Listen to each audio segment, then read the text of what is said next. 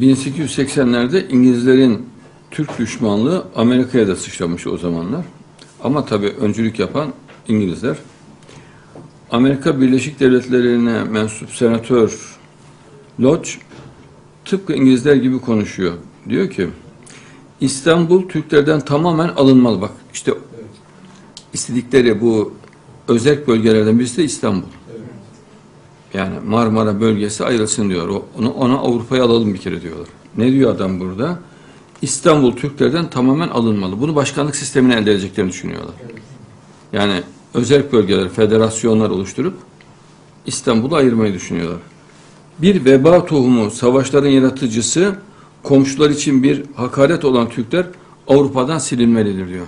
Yani böyle amansız bir nefret içinde bir İngiliz anlayışı var. Yani İngiliz derin devletinin kafası bu. Tehlikenin büyüklüğünü görmek lazım.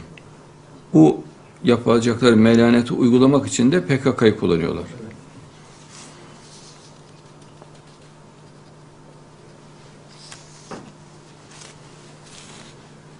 İngiltere Başbakanı Lord Salisbury 1911 tarihli gizli belgede Türklerle ilgili şunları söylüyor.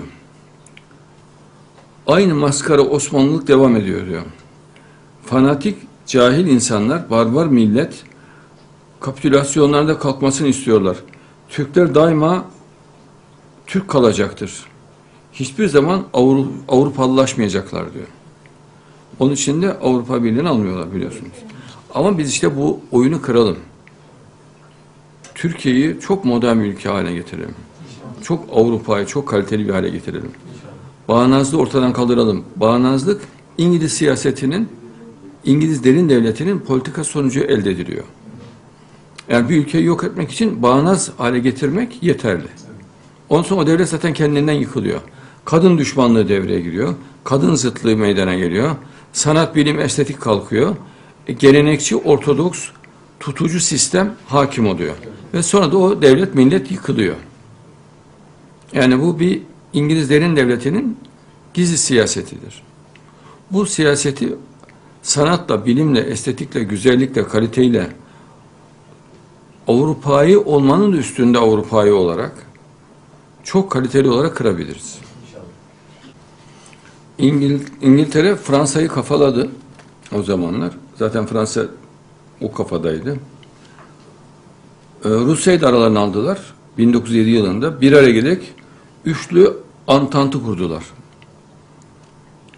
İngiltere'nin Osmanlı'yı parçalama konusunda ilk adımlarından biri bu oldu. Yani Fransa'yı da yanına aldı, Rusya'yı da yanına aldı. Osmanlı'yı yıkma projesini devreye soktu. O yüzden biz bu oyunu kökten kıralım. Modernlikle, kaliteyle, klasla.